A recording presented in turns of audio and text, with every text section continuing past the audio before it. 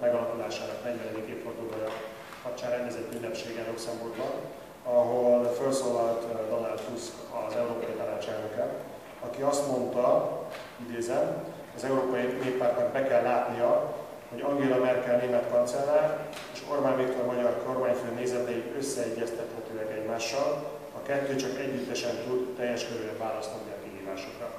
Úgy gondolom, hogy az Európai Néppárt egy meghatározó politikását halva, is van. A mi Schengen 2.0 javaslatunk is kifejezetten a közös fellépésre szólít fel, csak nem mindegy, hogy miben közös. Nem mindegy, hogy miben közös ez a fellépés. Tehát abban nem hiszem, hogy vita lenne, hogy az európai integráció bizonyos kérdéseiben, például a határvédelemben közös fellépést kell sürgetnünk.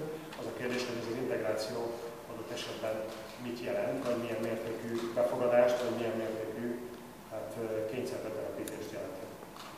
我说的没有